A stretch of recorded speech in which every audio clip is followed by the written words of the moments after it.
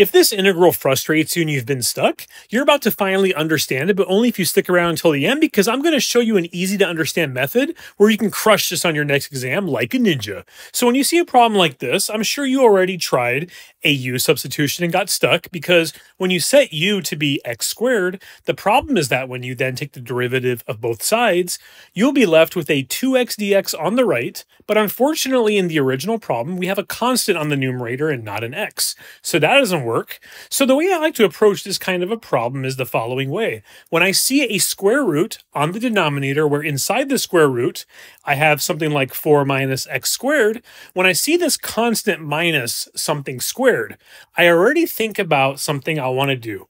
So I want to make this 4 minus x squared be transformed to look differently in a way where it's a lot easier to integrate. And then I want to work backwards from that to figure out what I need to do. So I usually then think about this very famous trig identity where you have sine squared of theta plus cosine squared of theta equals 1.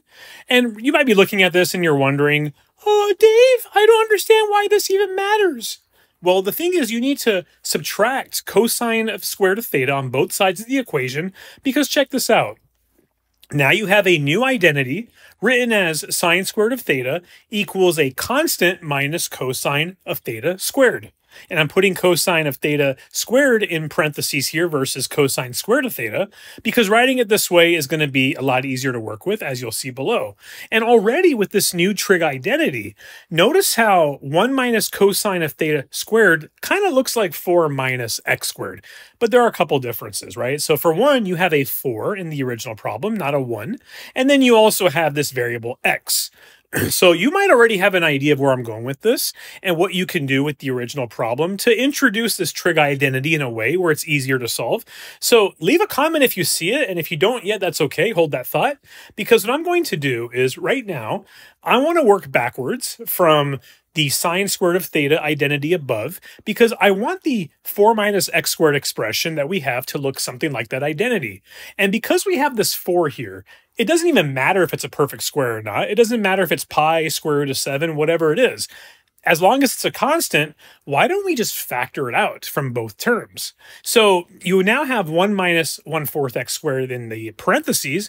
And even though you didn't have even division of 4 for what's in front of the x squared, other than now you have a 1 fourth, that's okay. We don't care about that because check this out. I know that you have this one fourth term in front of x squared here, but in the identity above, you have a cosine of theta, which basically has a one in front. But you know what's really cool is remember that for any constant, you can always rewrite it as a square of another constant. So if we think of one fourth as the square of something, what this allows us to do is rewrite the expression so that when one fourth is written as one half squared, because you have 1 half squared times x squared, they can now be conveniently grouped together by putting the 1 half x part within these parentheses. And ah, check this out. Now we're getting closer and closer to looking like the trig identity because above in the trig identity, you had 1 minus something squared. And here you've got 1 minus something squared. So I know I told you to think about what we could substitute in for the original integral to use the trig identity here. And getting one step closer to that, the first thing I want to do is I want to rewrite the expression now by introducing in the work that we did above so that the denominator now becomes the square root of 4 times in parentheses 1 minus 1 half all squared. I forgot to say 1 half x. And when you take this a step further, remember that because you have the square root of a constant times something, it's the same as taking the square root of that constant and you can bring it out, which I'm going to do here because the square root of 4 is 2. So I bring that out of the radical. And taking this a step further, if you happen to figure it out, the way we can bring the trig identity now into the problem is we want 1 minus something squared to look like 1 minus cosine of theta squared. So why don't we just set that something to cosine of theta, which in our case is the entire part that's inside the parentheses, that 1 half x. And then when you solve for x by multiplying by both sides by 2, and you have x equals 2 cosine of theta here. The reason why a u substitution now works is because when you take the derivative of both sides, notice how on the left-hand side now, dx is left by itself. You don't have a variable x in front of it, like how we got stuck in the original part of the problem. This means you can now safely substitute it into the original integral, because now when we rewrite it on the numerator, instead of dx by itself now times that constant 1, it's substituted in with this negative 2 sine of theta d theta. And so for the denominator, that 1 half x part, if you remember under the radical, will now be cosine of theta due to our u substitution. And the reason why this is useful is because remember with the trig identity, we know that we found that 1 minus cosine squared of theta is the same as sine squared of theta.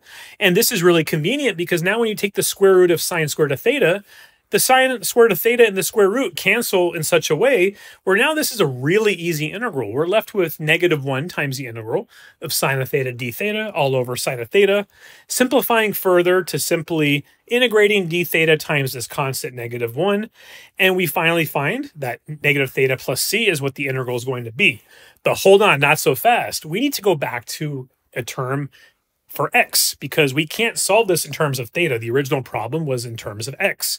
But if you remember, we said above that 1 half x equals cosine of theta. So if you want to get rid of the cosine part of the theta on the right-hand side, you can undo that by simply taking the arc cosine of both sides and substitute that back in to give you this final answer. And if this was fun for you, I've got another treat because if you want some more trig substitution practice for integrals like this on your next exam, you're going to definitely not want to miss this video.